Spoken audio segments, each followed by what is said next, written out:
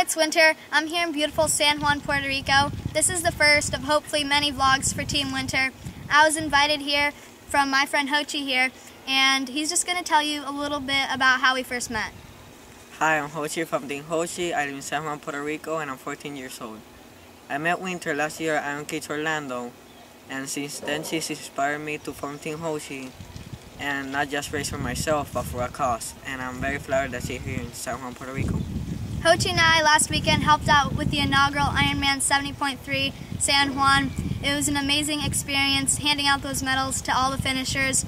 I also have been going into the school systems here in San Juan, Puerto Rico, and talking to the kids about what, what I do, Team Winter, and introducing them to the sport of triathlon if they already don't know what it is. Me and Jochi have been doing a lot of training together and bonding our friendship. I also received an award from Congress here in um, San Juan, Puerto Rico for my efforts of raising money for prostate cancer and getting the youth of Puerto Rico active. For now, from San Juan, Puerto Rico, adios!